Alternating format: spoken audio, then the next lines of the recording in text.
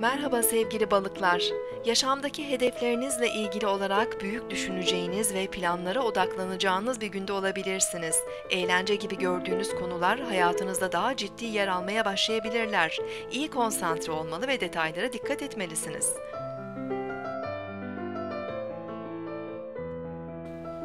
Bugün 17 Nisan 2014 Perşembe, Jüpiter günündeyiz.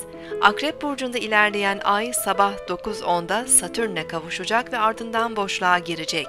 Derin ve içe dönük enerjiler ruhsal olarak karamsar hissetmemizi sağlayabilir. Sorumluluklarımız ve görevlerimiz bugün bize biraz daha ağır gelebilir.